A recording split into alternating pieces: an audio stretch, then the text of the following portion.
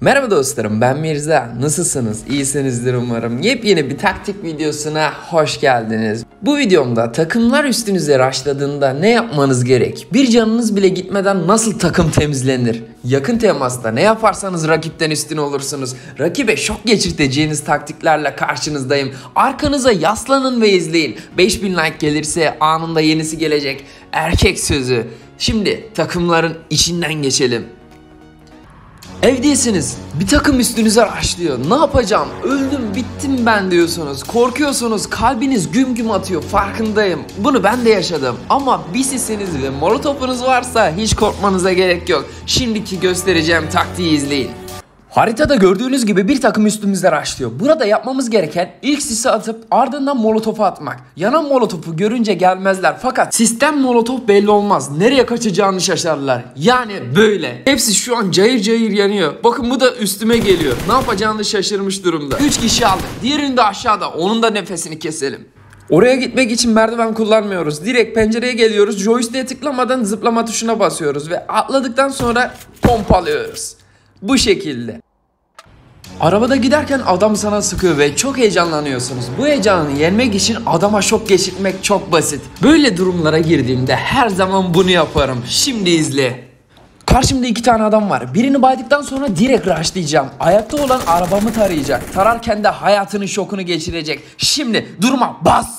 Adam kayanın arkasından sıkmaya başladığında sakin olun. Panik yapmayın. Yanına gittiğinizde hemen sağa geçin ve çıka basın. Canınız böylelikle hiç gitmeyecek. O hala sizi gidiyor sanacak ama siz ona hayatının şokunu geçirteceksiniz. Bu şekilde. Adam nereye bakıyor? Nereye sıkıyor görüyor musunuz? Köprülerde veya başka yerde pusuya düşürüldüğünde direkt adamın üstüne sürmeyin. Sağ duvara toslayın ve direkt yan koltuğa geçerek kabul alın. Şimdi eşitsiniz. Şimdi sıra sende. Bas mermi. Dostlarım arabada sağa geçmek bu denli önemli işte. Bunu yapmanızı tavsiye ederim. Heyecanlanmayın. Bunda bir ölürsünüz, iki ölürsünüz ama üçüncüye siz öldürürsünüz. Takımı temizlersiniz belki de. Zor zamanlarınızda çok yardımcı olur. Direkt üstüne sürmeyin. Sağ tarafa geçin, çıkın, cover'ınızı alın, basın mermiyi. Sizden başka bir şey istemiyorum. Bunu yapın, bir de like atın. Bir kişi duvar arkasından çıkmıyorsa ve yanınızda bir araç varsa yapmanız gereken tek şey ne mi? Şimdi izle. Bakın dostlarım burada bir tane adam var. Görmedim sanıyor kendine. Ama onun oradan çıkmayacağını biliyorum. Ve onunla uğraşmak istemediğimden ona güzel bir tuzak hazırlamanın vakti geldi. Gördüğünüz gibi arabayı gördüm. Çalıştırıyor gibi yaptım. Geri çıktım. Onun çıkmasını bekliyorum. Şimdi arabadan gidiyor sanıyor ve kafasına biniyorum. Yılanı böyle deliğinden çıkartabilirsiniz. Dostlarım üzerinize bir takım raşladığında çok heyecanlanıyorsanız ve yapmanız gereken şeyi bilmiyorsanız benim yaptığım yöntemi yapmanızı tavsiye ederim. Yeter ki bir tane sisiniz olsun o heyecan duygunuz %60 azalacaktır. Şimdi onların gelmesini bekleyin. Sisten çıkacak. Böyle çıkacak ve o sizi görmeyecek. Sen onları dürbün açıp böyle indirebilirsin. De sesini alıyorum ve bitiriyorum olayı. Bunu yapabilirsin dostum. Ben yapıyorsam sen de yapabilirsin. Sana güveniyorum. Bazen adamla duvar arkasında çatışmaya girersin ve ne yapacağını şaşırırsın. Biraz sabırlı olmak gerek dostlarım. Artık öyle bir evreye geleceksin ki karşı düşmanın mermisini sayacak kadar oynayacaksın bu oyunu. Şimdi ne demek istediğimi daha iyi anlayacaksınız. Dostlarım gördüğünüz gibi karşımda düşman var. Deli gibi sıkıyor. Biz çıkarsak o mermiler bize çok hasar verir. Mermisinin bitmesini bekliyoruz ve bir iki tane kalmıştır şimdi. Bas! Bunu aldık. Çok iyi. Diğerini de aldık. Canımız bir kaldı şimdi. Bir can kalınca ne yapıyorduk? A. Gelmeden sıkıyorduk. B. Bomba atıyorduk. C. Osurarak kaçıyorduk. Şimdi doğru cevap neymiş ona bakalım.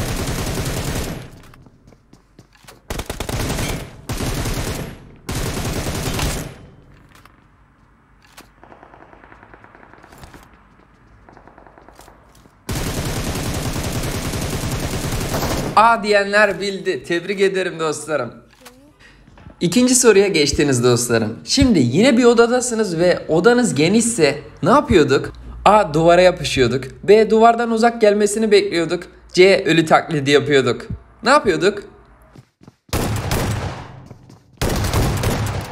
B diyenleri tebrik ederim. Duvardan uzak adamların gelmesini bekliyorduk. Eğer dar odadaysanız tamam duvar arkasında durabilirsiniz yapışık bir şekilde ama geniş bir odadaysanız biraz geniş durun. Adamları daha rahat görün ve adamlar sizi görmeden siz onlara sıkmaya başlayın dostlarım.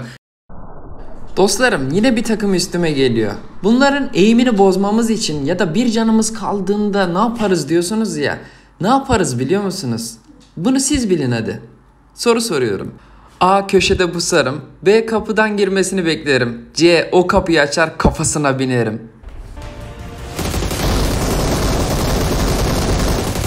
Canım bir kaldı gördüğünüz gibi hop kafasına bindim. Zıplayarak eğimini bozabilirsin dostlarım. Canın bir olduğuna göre demek ki dediğim gibi adam gelmeden sık ya da eğim koy bekle. Bunu yap hayatına yön ver dostum. Şu futbol topunu gerçekten hiç kullanmayanlar var. Bunu kullanın dostlarım. Duvar arkasındaki adama bu şekilde yaparak çok rahat bir şekilde çıkartıp kafasına sıkıyorsun ve adam şok geçiriyor. Yine adamlar geliyorsa ve bulunduğunuz yerden rahat etmiyorsanız direkt ilk cover'a geçin ve adamların gelmesini bekleyin. Gördüğünüz gibi ikisi aynı anda geliyor. İkisini de böylelikle yok edebilirsin. Unutma ilk cover'a geç ve bekle. Onlar deli gibi üstüne gelecek kör bir şekilde. Dostlarım yine bir takım geliyorsa ve yine heyecanlanıyorsanız bulunduğunuz ortamı değiştirmeyi deneyin. Sabit bir yerde kalmayın çünkü bomba falan atarlar. O yüzden yapacağınız şey ortamınızı değiştirip onları gafil avlamak olacaktır. Eğer birini baydıktan sonra raşlamanın zamanı gelmiştir dostum. Şu an her yerden adam geliyor. Benim bulunduğum ortamı değiştirmem lazım çünkü burada rahat değilim. Adamlar gelmesin diye böyle tuzak hazırlıyorum. Benim o evde olduğumu sanacaklar. Daha sonra yan eve geçiyorum ve onların gelmesini bekliyorum.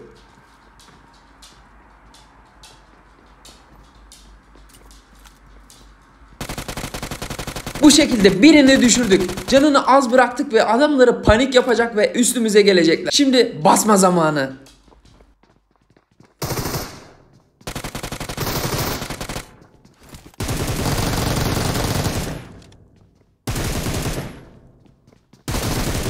Ben Pochinki'de böyle durumlarda genelde hep böyle yaparım.